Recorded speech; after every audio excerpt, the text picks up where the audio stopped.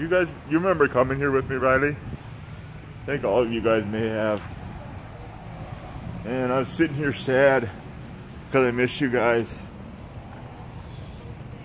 I had a couple, couple monsters, and they actually did something this time. Usually they do nothing.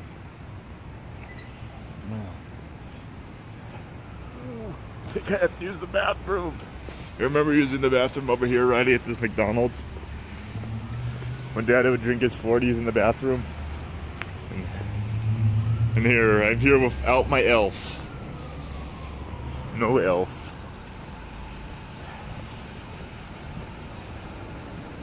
I remember we walked through those aisles in there. Do you remember that at all? I don't know, I always get sad every time I come here.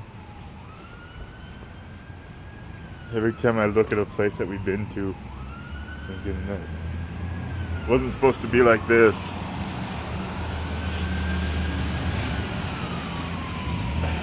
Well, I gotta use the bathroom.